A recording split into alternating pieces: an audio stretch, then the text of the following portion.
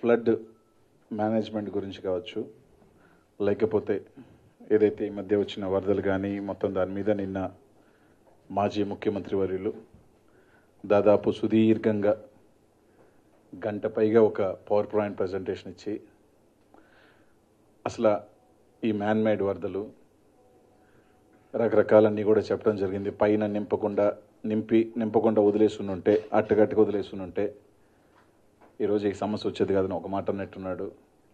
రెండోది మూడు వందల టీఎంసీ నీరు సముద్రం కలిసిపోతే రాయలసీమకి చుక్క నీరు అందించలేదని చెప్పాడు. ఇక్కడ చంద్రబాబు నాయుడు గారు చెప్పిన ప్రతి పాయింట్కి కూడా వివరణ ఇస్తాం.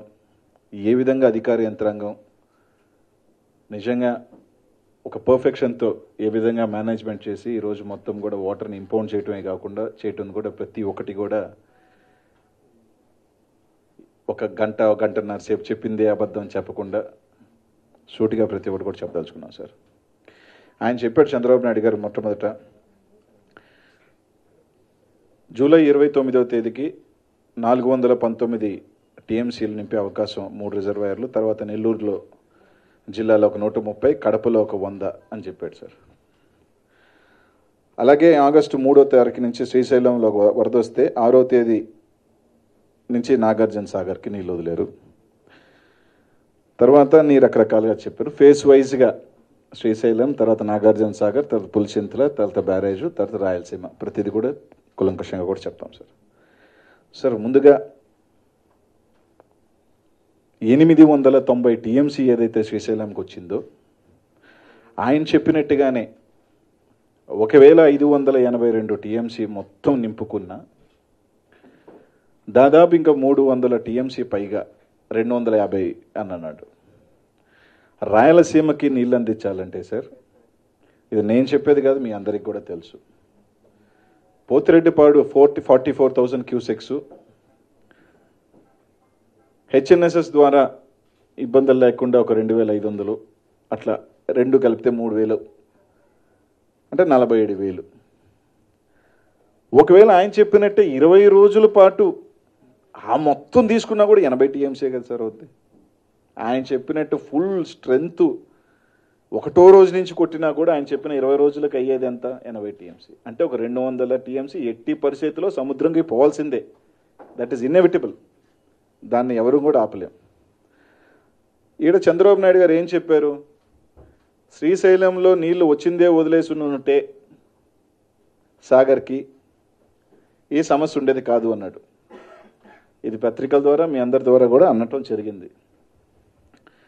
సార్ ఆగస్టు మూడో తారీఖు నుంచి ఆయన చెప్పినట్టే సిడబ్ల్యూసి మొత్తం ఇదన్నీ కూడా ఏది కూడా ఈ ప్రభుత్వం మేనేజ్ చేసింది కాదు సార్. ఇదంతా కూడా ప్రతిదీ కూడా రికార్డెడ్.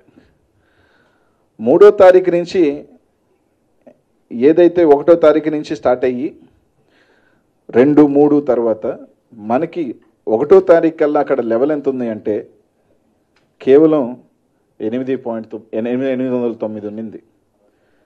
మనకి ఎయిట్ ఎయిటీ వన్ పర్ఫెక్ట్గా తీసుకుంటే ఎనిమిది వందల ఎనభై ఒక్క లెవెల్కి వస్తే మాత్రమే పోతిరెడ్డిపాడు నుంచి forty four thousand cusecs తీసుకోగలుగుతాం. Full capacity.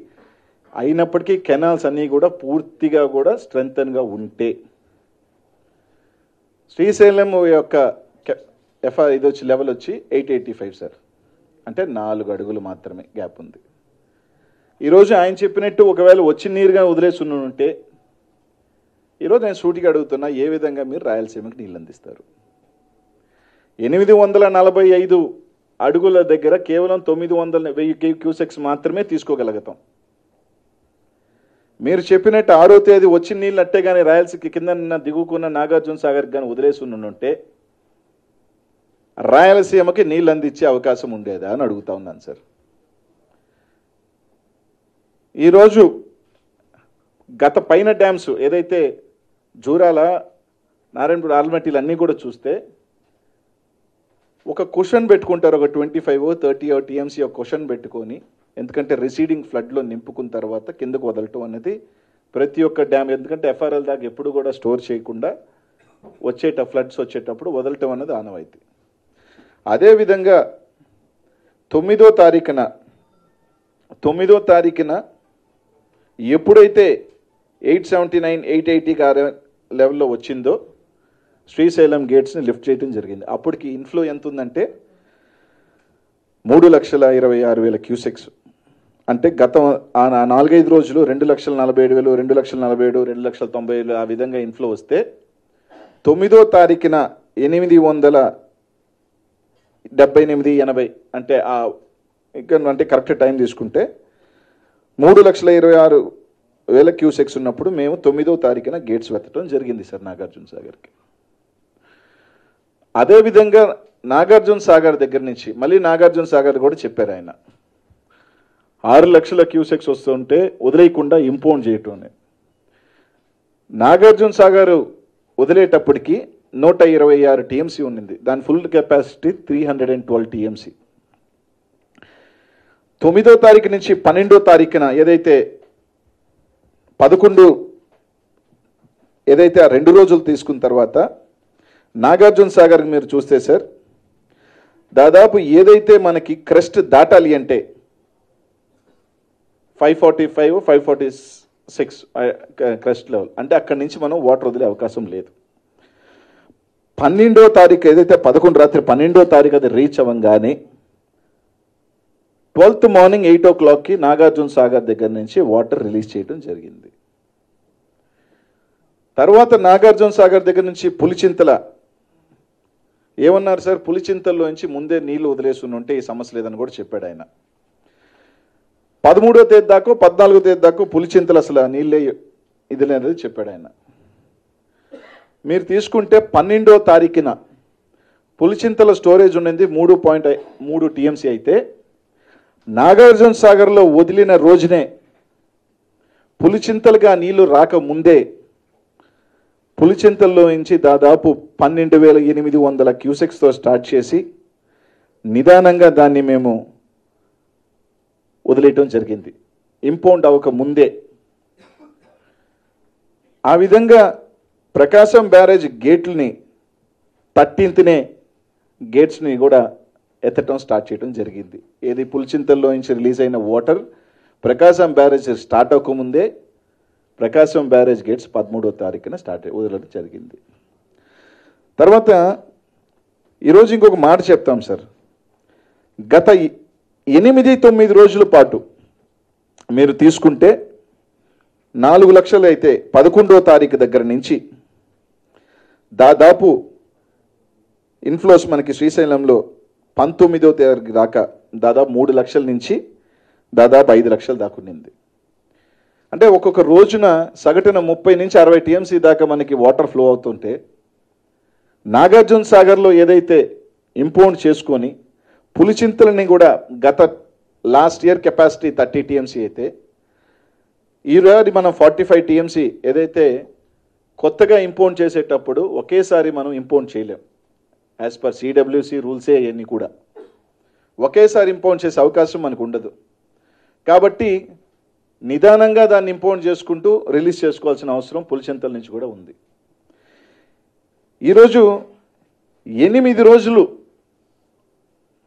Srisailam నుంచి యావరేజ్న ఎనిమిది రోజులు ఎనిమిది లక్షల పైచీలకు క్యూసెక్స్ని మేము రిలీజ్ చేస్తే దాంట్లో రెండు సార్లు తొమ్మిది లక్షల పైన ఆ ఎనిమిది రోజుల్లో కూడా ఆరు రోజులు ఆరు రోజుల్లో కూడా రెండు రోజులు తొమ్మిది లక్షల పైన చేస్తే యావరేజ్న కేవలం ప్రకాశం బ్యారేజ్కి ఆన్ యావరేజ్న సింగిల్ డే కూడా ఎనిమిది లక్షలు తాకలేదు. కేవలం ఆరు గంటల మాత్రమే ఎనిమిది లక్షలు ఉన్నది తప్ప కొరవంతా కూడా యావరేజ్న ఏడు లక్షలు అది కూడా రెండు రోజులు మాత్రమే ఏడు లక్షల క్యూసెక్స్ తాకింది. ఈరోజు మళ్ళీ ఒక మాట చెప్పాడు నాగార్జున సాగర్లో. మీరు ఒక యాభై టీమ్స్ నీటి నిలువ చేసే వరద ప్రయాణం ఏదో పెట్ట పెట్టండొచ్చు అన్నాను. సార్ నాగార్జున సాగర్ దగ్గర నుంచి కూడా ఒకసారి ఎందుకంటే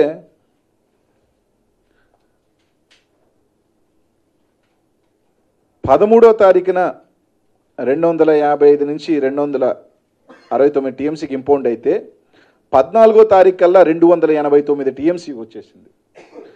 దాని యావరేజ్ ఇన్ఫ్లో ఎంతో తెలుసా సార్? అప్పటికే ఆరు లక్షలు ఉన్నింది అంటే ఇంకా నీకు మిగిలి ఉన్నది ఇరవై మూడు టీఎంసీ ఒక ఫ్లో మాత్రమే. రోజు వచ్చే ఫ్లో ఎంత? ఆరు లక్షల చిల్లర ఏడు లక్షల అట్లా ఎనిమిది లక్షల వస్తూ ఉంది. ఈయన చెప్పినట్టు ఇంకొక యాభై టీఎంసీని మేము కట్ చేసి వదులుంటే ఆరు ఏడు లక్షలకి పెరుగుండేదా తగ్గేదా? ఈరోజు మిమ్మల్ని అడుగుతున్నాను సార్. ఏ రోజు పైనుంచి వచ్చేది ఏడు లక్షలు కాదు ఎనిమిది లక్షలు. అప్పటికి మీకు అవుట్ఫ్లోస్ కూడా చెప్పాలి సార్. ఎనిమిది లక్షలు వస్తున్నప్పుడు మేము జాగ్రత్తగా దాన్ని ఐదు ఇంపౌండ్ చేసి ఐదు లక్షలకే తగ్గించాం ఎనిమిది లక్షలు ఇరవై ఆరు వేలు వచ్చినప్పుడు నాలుగు లక్షలు. ఏ రోజు కూడా వచ్చింది వచ్చింది కానీ వదులుకుంటా ఉంటే ఇంపౌండ్ అవుతామనంటే ఈ రోజు ఇంకా పెరుగుండే అవకాశం ఉండేది. ఎప్పుడు కూడా మీరు తీసుకుంటే నాగార్జున సాగర్ దగ్గర నుంచి దాదాపు ఎనిమిది లక్షలు వస్తున్నా కూడా ఏ రోజు కూడా మేము ఐదు లక్షలు ఏడు లక్షలు అలా ఇంపౌండ్ చేసుకుంటూ చేసుకుంటూ చేసుకుంటూ జాగ్రత్తగా దాన్ని మోడరేట్ చేసుకోవడం రావడం జరిగింది. ప్రతిరోజు కూడా ఫ్లడ్ పెరుగుతూ ఎనిమిది లక్షలు ఎనిమిది లక్షల క్యూసెక్స్ ఎవ్రీ డే వస్తుంటే అంటే దాదాపు డెబ్బై టీఎంసీ వస్తుంటే కేవలం మూడు నాలుగు రోజుల లోపల సాగరు శ్రీశైలం నిండిపోయే పరిస్థితి ఉంటే ఈయన మొత్తం వదిలేయమని ఉన్నాడు ఏడు లక్షల పాటు ఇంకా కూడా వదిలేస్తుంటే అది పెరుగుద్దా తగ్గుద్దా? ఈరోజు అందరికీ కూడా తెలియజేయాలనుకుంటున్నా రాయలసీమకు మళ్ళించలేదంటారు. రాయలసీమకు మళ్ళించాలి అంటే నువ్వు ఎయిట్ ఎయిటీ పెట్టందే ఎయిట్ ఎయిటీ వన్ పెట్టందే ఫార్టీ ఫోర్ థౌజండ్ క్యూసెక్స్ తీసుకోగలుగుతామా లేదా? ఎయిట్ ఎయిటీ అంటే దాదాపు రెండు వ- దాదాపు వన్ నైంటీ టీఎంసీ ఉండాలి. రఫ్లీ వన్ ఆర్ టూ టీఎంసీ అలా తీసుకుంటే నువ్వు అన్- అంటే నీకు క్వశ్చన్ ఉన్నది ఇరవై ఐదు టీఎంసీ ఉంటుంది. అంటే ఇప్పుడు ఈయన చెప్పేది ఏంటి సార్? మొత్తం వదిలేయమని రాయలసీమకి నీళ్ళు ఇవ్వాలనే వద్దనే. లేదు ఎయిట్ ఎయిటీ పెట్టి రాయలసీమకి నీళ్ళు ఇస్తే కొరవ వచ్చే ఎనిమిది లక్షల ఫ్లడ్ని కిందకు వదలాలా? లేకపోతే ఎట్ట పంపించాలా?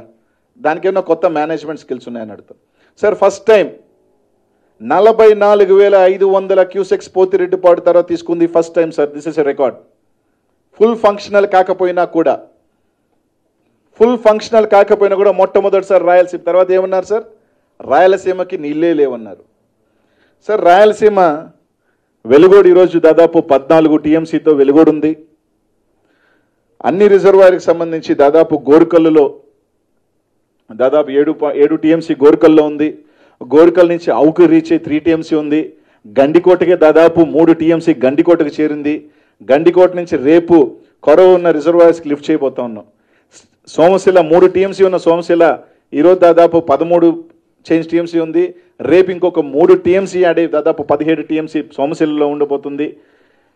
ఇవన్నీ ఆయనకి కనిపిస్తున్నాయో లేదో నాకు తెలియదు దాదాపు నలభై ఆరు టీఎంసీస్ పైగా కూడా రాయలసీమకు మేము తీసుకువెళ్ళటం జరిగింది.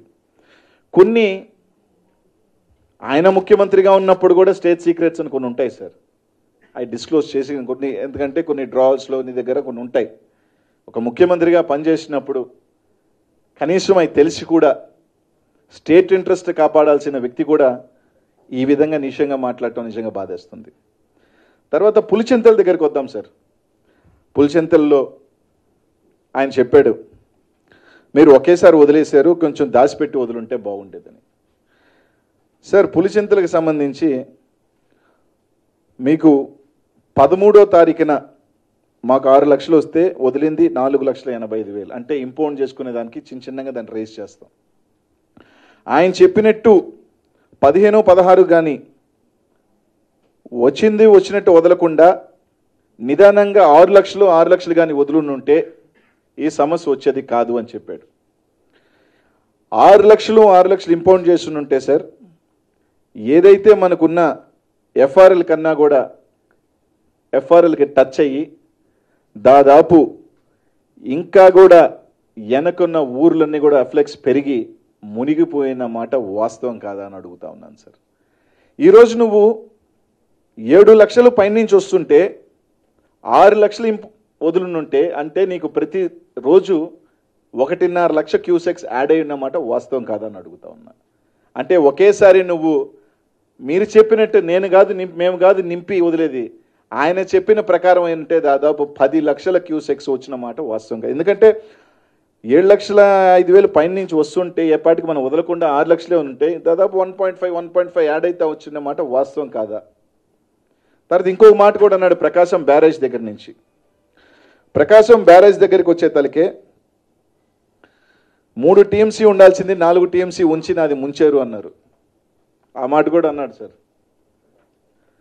సార్ ప్రకాశం బ్యారేజ్ పదమూడో తారీఖున మేము పొద్దున గేట్స్ వెతితే మొత్తం డెబ్బై గేట్లు వెతితే ఏదైతే పాయింట్ పాండ్ని ట్వెల్వ్ ఫీట్లో పెట్టి తొమ్మిది ఫీట్ గేట్స్ కానీ పైకి లిఫ్ట్ చేసిన తర్వాత దాన్ని క్లియర్ కండిషన్ అంటారు సార్. అంటే ఎంత వాటర్ వచ్చినా కూడా ఇంకా గేట్స్కి తగ తగలదు అది. అది ఐదు లక్షలు ఆరు లక్షలు వెళ్ళేటప్పుడు దాదాపు మీకు చూస్తే మ్యాక్సిమం లెవెల్ ఈసారి ఎయిటీన్ పాయింట్ టూ ఫీట్కి వెళ్ళింది. అంటే నైన్ ఫీట్ అనేది ఏదైతే ఇప్పుడు మనం పైకి ఎత్తిన తర్వాత పాండ్ లెవెల్ పన్నెండు ఉంటే మూడు లక్షల తొంభై ఎనిమిది క్యూసెక్స్ పోతే. అదే నీకు ఏడు లక్షల క్యూసెక్స్ అయితే ఆటోమేటిక్గానే పాండ్ లెవెల్ పెరుగుతుంది ఎయిటీన్ లెవెల్కి. అప్పుడు ఆటోమేటిక్గాను అది స్టోరేజ్ కిందకి రాదు సార్ అది. స్టోరేజ్ అంటే ఏంది? నువ్వు గేట్స్ అన్ని మూసేసి నింపితే స్టోరేజ్ కానీ ఎక్కడైతే పారుదల్లో నీకు ఫ్లడ్ అనేది వెళ్ళిపోతున్నప్పుడు లెవెల్ పెరిగితే దాన్ని స్టోరేజ్ అని ఎలా అంటాం సార్? దాన్ని స్టోరేజ్ అంటారా అంటున్నా. వాట్ ఈజ్ స్టోరేజ్ గేట్స్ అన్నీ క్లోజ్ చేసేసి ఉన్నదానికన్నా ఎక్సెస్ పెడితే దాన్ని స్టోరేజ్ కానీ గేట్స్ అంతా పైకి లిఫ్ట్ చేసేసిన తర్వాత దాదాపు ఏడు లక్షల క్యూసెక్స్ వెళ్తున్నప్పుడు ఆటోమేటిక్గా కూడా పాండ్ లెవెల్ పెరుగుతుంది. Pond level twelve twelve twelve feet నుంచి దాదాపు ఎయిటీన్ పాయింట్ టూ ఫీట్ దాకా పెరిగినప్పుడు ఖచ్చితంగా అది అది క్వాలిటీ అది త్రీ అవుతుంది ఫోర్ అవుతుంది ఫైవ్ కూడా అవచ్చు అది that is not in our hands మన చేతిలో ఉండదు. కానీ దాన్ని స్టోరేజ్గా తీసుకొచ్చి దాన్ని స్టోరేజ్గా పెట్టారు. నా ఇల్లును ముంచారు ఈరోజు మీరు చూస్తే ప్రతి గంట ప్రకాశం బ్యారేజ్న పద్నాలుగో తారీఖున పన్నెండు లెవెల్కి రీచ్ అయిన తర్వాత అప్పుడు మూడు లక్షల తొంభై ఏడు వేలు. ప్రతి గంట మీరు చూసుకోవచ్చు. దాదాపు ఎయిటీన్ లెవెల్ వచ్చి పదిహేడో తారీఖున వెళ్ళింది. అప్పుడు ఆ ఒక్క ఆరు గంటలు మాత్రమే ఎనిమిది లక్షల యాభై మూడు వేల క్యూసెక్స్. ఆ ఒక్క సిక్స్ అవర్సే తర్వాత ఎప్పుడు కూడా ఎనిమిది టచ్ అవ్వాలి. అంతా ఏడు లోపలే ఉండటం జరిగింది. అప్పుడు పాండ్ లెవెల్ పోయే పారుదల నీళ్ళు అప్పుడు ఎక్కువ నీళ్ళు వచ్చినప్పుడు ఆటోమేటిక్గా కెపాసిటీ రైజ్ అయి ఉంటుంది. అప్పుడు గేట్స్ కూడా టచ్ అవుతుంది అది ఫోర్ ఉండొచ్చు ఫైవ్ ఉండొచ్చు. దాన్ని కూడా స్టోరేజ్గా తీసుకొని నా ఇల్లు నాకు బాధ ఎక్కడేస్తుందంటే ఇప్పుడు పద్నాలుగు సంవత్సరాలు ముఖ్యమంత్రిగా ఉన్న వ్యక్తి మళ్ళీ ఏదైనా చెప్తే నన్ను చూసి నేర్చుకోండి మేనేజ్మెంట్ అన్నాడు. అప్పుడప్పుడు అనిపిస్తుంది ఏం చూసి నేర్చుకోవాలి? పుష్కరాల్లో ముప్పై ఎనిమిది మంది చంపేసిందే. కృష్ణా పుష్కరాల్లో ఐదు మందిని చంపేసిందే. నైన్టీన్ ఎయిట్ నైన్టీన్ ఎయిట్లో ఫ్లడ్ ఈ విధంగా మేనేజ్ చేయకుండా పవర్ హౌస్ను ముంచేసిందే. ఇదే ఫ్లడ్ మేనేజ్మెంట్ అని అడుగుతున్నా. ఈరోజు మా అధికారులు రెండు జిల్లా కలెక్టర్స్ కానీ అధికారి ఇరిగేషన్ అధికారులకి ఈరోజు ఒకటే అందరూ చేసిన ఎఫర్ట్కి సార్ ఒక్క మనిషి ఈ ఫ్లడ్ ప్యాసేజ్లో ఎక్కడ చనిపోలే ఒక పశువు కూడా చనిపోలే ఒక క్యాటిల్ కష్టం కాల? బ్రీచెస్ కూడా లేవు. ఇనండేషన్ అయింది రివర్ బెడ్ మీద ఉన్న పొలాల దగ్గర నుంచి హౌసెస్కి ఇనండేషన్ జరిగింది. దానికి మా ప్రభుత్వానికి సంబంధించి పూర్తిగా కూడా డ్యామేజ్ కట్టించేదానికి అన్ని క్షణాలు ఆ రైతాంగాన్ని ఆదుకునేదానికి మా ప్రభుత్వం ఎప్పుడు కూడా సిద్ధంగా ఉంది. అది పూర్తిగా కూడా ఎనిమరేషన్ చేస్తున్నాం. ప్రతి హౌస్ని ప్రతి ఒక్కరిని కూడా ఆదుకునేదానికి. దాన్ని వదిలేసి ఏ విధంగా చంద్రబాబు నాయుడు గారు తర్వాత ఇంకొకటి కూడా చూశాను. ఆయన ఇంకొక మాట కూడా మాట్లాడారు. తొమ్మిది పదో తేదీ లోపల తొమ్మిది లక్షల నలభై ఆరు వేల క్యూసెక్స్ శ్రీశైలంకి వచ్చేసింది అని. కేవలం పన్నెండో తారీఖున నాడు మనకి పన్నెండు కూడా కాదు ఫిఫ్టీన్త్ ఫోర్టీన్త్ అనుకుంటా. ఫోర్టీన్త్ తొమ్మిది లక్షలు టచ్ అయింది కానీ శ్రీశైలంకి.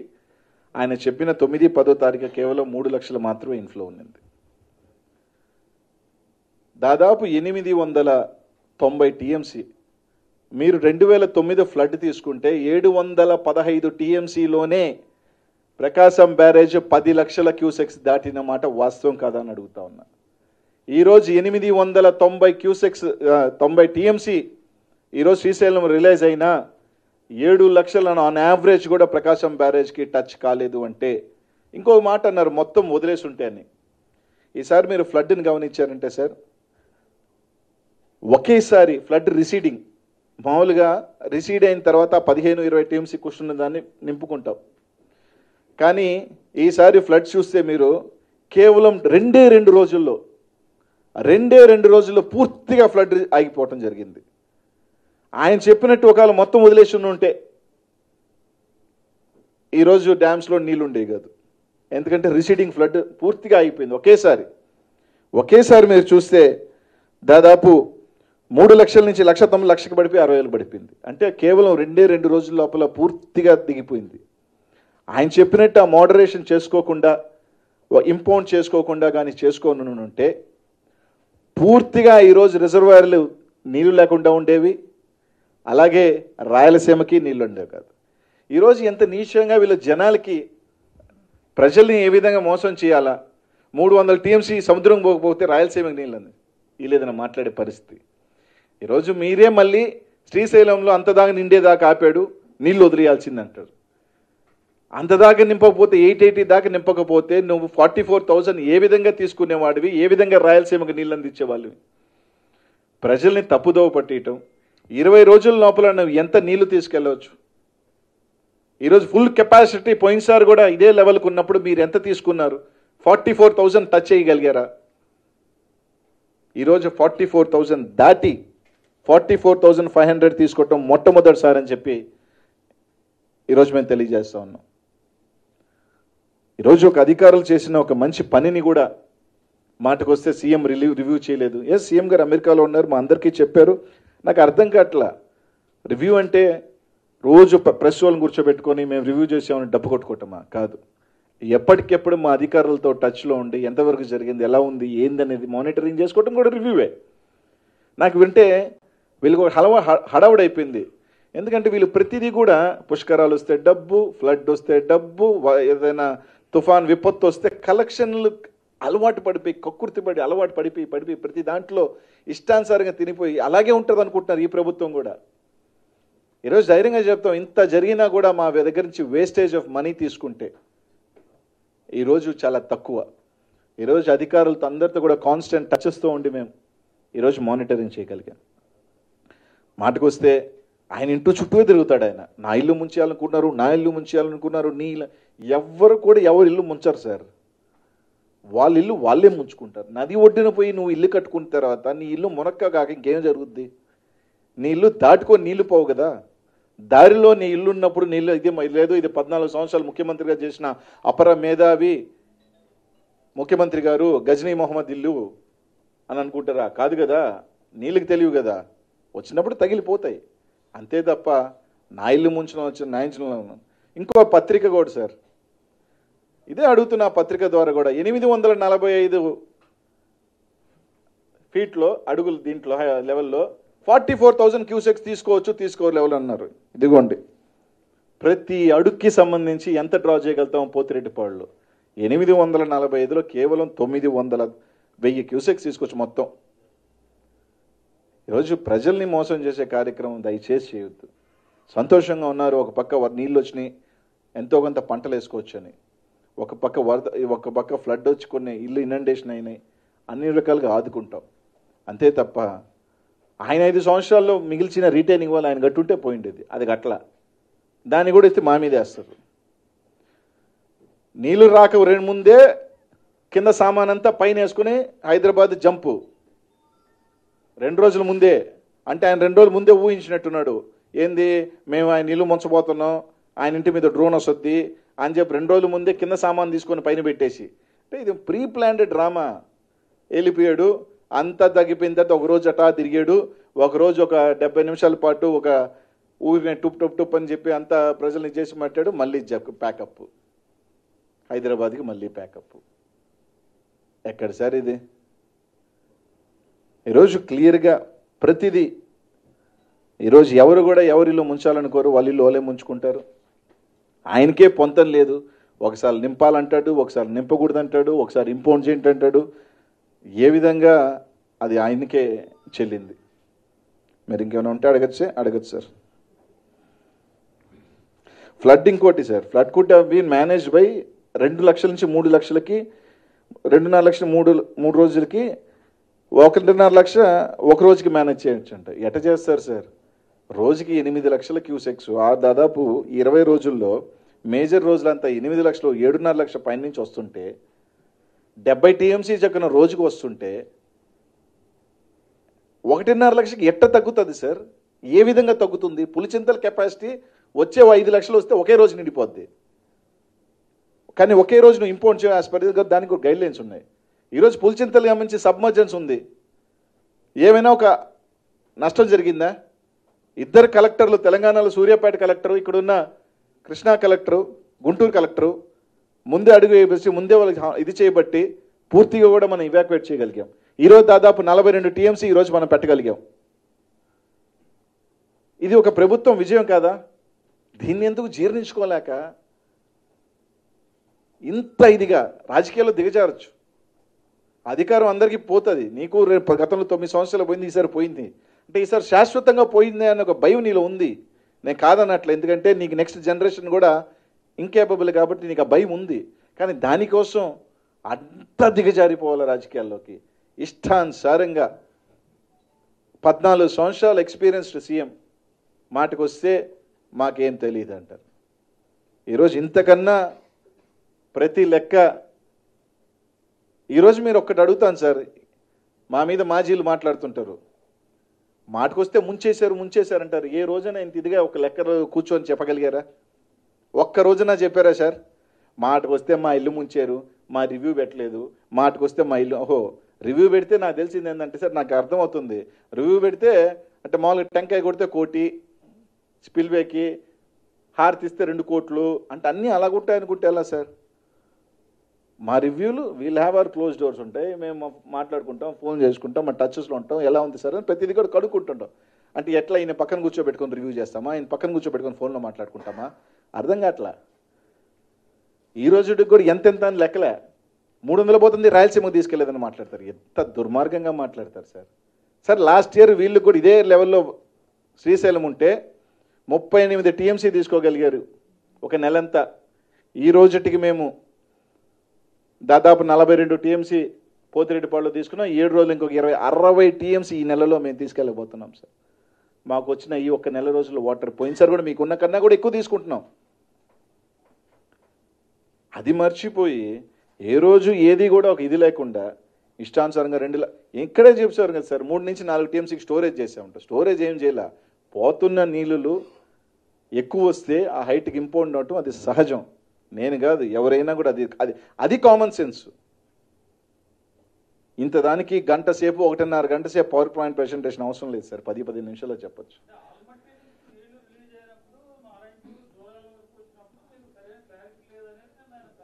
అదే సార్ ఇప్పుడు ఏం క్లారిటీ చెప్పమనండి?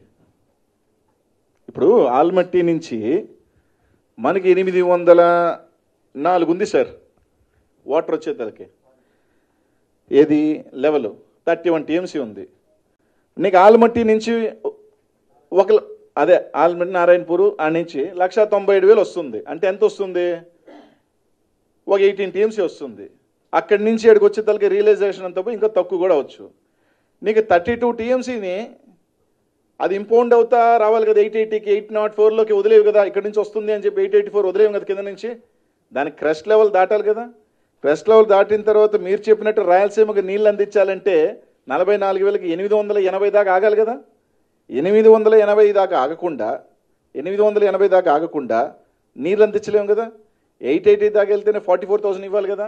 సో అది పెరిగే కొంది ఒక్కొక్క రోజు థర్టీ ఫార్టీ టీమ్సీ వస్తున్నప్పుడు ఏదైతే ఎయిట్ ఎయిటీ దగ్గర మేము గేట్స్ ఓపెన్ చేసాం ఎయిట్ ఫిఫ్టీ ఎయిట్ ఫిఫ్టీ నుంచి ఎయిట్ సిక్స్టీ దగ్గర నుంచే వీ స్టార్టెడ్ ఏదైతే పొత్తిరెడ్డిపాల నుంచి స్టార్ట్ చేసాం సో ఆటోమేటిక్గా ఒక రోజు నలభై యాభై టీఎంసీ వచ్చేస్తుంటే ఐదు లక్షలు ఆరు లక్షలు వచ్చేస్తుంటే ఆటోమేటిక్గా నేను ఇంపోర్ట్ చేసుకున్న తర్వాత సాగర్కి వదులుతాం ప్లస్ సాగర్ సాగర్ గేట్స్ తెలంగాణ వాళ్ళు ఆపరేట్ చేసినప్పటికీ కూడా ఏదైతే క్రెస్ట్ లెవెల్ దాటంగానే క్రెస్ట్ లెవెల్ దాటిన పొద్దున్నే సాగర్ వాళ్ళు కూడా కూడా మాట్లాడి మేము రిలీజ్ చేయడం జరిగింది. ఎక్కడ? తీసుకున్నాం కదా. వీ స్టార్టెడ్ టేకింగ్ ఫ్రమ్ ఫిఫ్తే కదా. ఫోర్త్ నుంచే ముచ్చుమరి స్టార్ట్ అయింది హెచ్ఎన్ఎస్ఎస్ తీసుకోండి. పోతిరెడ్డిపాడు ముచ్చుమరి ఎంతన్నా రెండు వేల క్యూసెక్స్తో స్టార్ట్ అవుతాం. రెండు వేల ఏడు వందలు అంతే. వెయ్యి క్యూసెక్స్ ముచ్చుమరి అది మళ్ళీ ఎవరు? హెచ్ఎన్ఎస్ఎస్ అది తీసుకున్నాం కదా. సి హెచ్ఎన్ఎస్ఎస్ అని ఇప్పుడు మొత్తం కొట్టినా కూడా ఆ ఐదారు రోజులు కొడితే ఒక టీఎంసీ పోతున్నా. మొత్తం ఐదారు రోజులు కొడితే ఒక టీఎంసీ పోతుంది ప్లస్ ఇంకా కూడా ఏంటంటే కనీసం పోతిరెడ్డిపాడిని పూర్తిగా కూడా డెవలప్ చేస్తున్నా కూడా పూర్తిగా హెచ్ఎన్ఎస్ కెనాల్స్ కూడా ఇంకా పూర్తిగా అది తీసుకునే కెపాసిటీస్ లేవు. అయ్యే ఐదు సంవత్సరాలు చేసినా కూడా ఈరోజు ఈ ప్రాబ్లం వచ్చేది కాదు. కేవలం ఒకే రోజుకి మిమ్మల్ని అడుగుతున్నాను సార్ ఎయిట్ ఎయిటీ దాకా మీరు ఫార్టీ ఫోర్ థౌసండ్ తీసుకోలేము కదా? రాయలసీమకు పండించాలంటే అక్కడ దాకా పూర్తిగా ఇంపోర్ట్ చేస్తేనే కదా ఇవ్వగలుగుతాం. సార్ అధికారులు చేసిన మంచి పనిని అప్రిషియేట్ చేయడం సార్. ఈవెన్ ప్రతిపక్షంలో ఉన్నా కూడా అధికారులు ఒక మంచి పని చేస్తే ఎవరిని అప్రిషియేషన్ కోరుతారు? ఒక పని చేసినప్పుడు సార్ ఒక్క ఈ ఫ్లడ్ ఆన్ ద కోర్స్లో ఎక్కడైనా బ్రీచెస్ ఎక్కడైనా కట్ట దాటి వెళ్ళటం క్యాటిల్ పోవటం నిజంగా మీరు చెప్పినట్టు మేము ఇన్ఫార్మ్ చేయకుండా ఉన్నట్టే ఈరోజు ఒకరు ఇద్దరు ఏమైనా పొరపాటు జరుగుండేది కదా ఏమీ జరగలేదు కదా ఇంత ఇంత దీంట్లో. అంటే అధికారులు మంచి చేయలేదా అధికారులు బాగా కష్టపడలేదా? ఇద్దరు కలెక్టర్లు కమిషనర్ ఇరిగేషన్ అధికారులు ప్రతిదీ రాజకీయం ఒక పద్నాలుగు సంవత్సరాలు ముఖ్యమంత్రిగా ఉన్న వ్యక్తి దిగజారిపోయి మాటకొస్తే నా ఇల్లు చుట్టూ నా ఇల్లు చుట్టూ తన ఇల్లు ఒకటే ఉంది ఈ రాష్ట్రంలో ప్రపంచంలో. అది కూడా తప్పుడిల్లు సార్.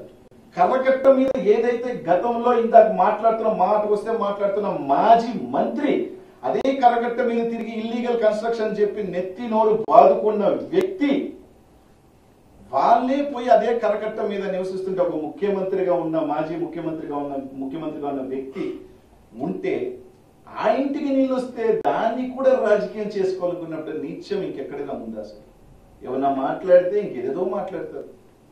ఏదేదో మాట్లాడతారు. వీళ్ళకి తెలియదు వీళ్ళకి తెలియదు చంద్రబాబు నాయుడు గారు ఇలాగే సార్ ఐదు సంవత్సరాలు మాకు ప్రతిపక్షంలో ఎలా ఉండాలనే తెలియదు తెలియదు తెలియదు మాకు అధికారం ఇచ్చాడు.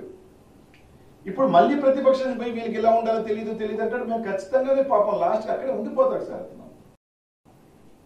ఇంకా లేదు అక్కడే ఇంకా అక్కడే ఉండిపోతాడు అతను. ఇంకెన్ని డౌట్స్ సార్